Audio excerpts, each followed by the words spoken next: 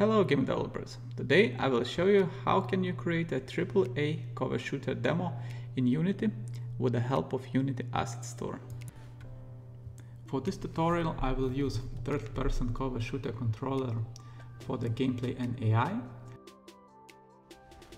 post-apocalyptic survival character as our main character, PBR customized soldier pack to create all kind of enemies, Book of Dead environment to create a breathtaking world. High quality abandoned school to create a place where we're going to fight our enemies. PBR weapons pack to arm our player and enemies.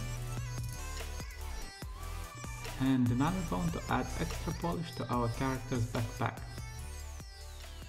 The focus of this tutorial is to introduce you with HDR render pipeline set up gameplay with third-person cover shooter template, customize UI, make simple cutscenes during gameplay, and we will polish demo that you will be proud to show to anyone.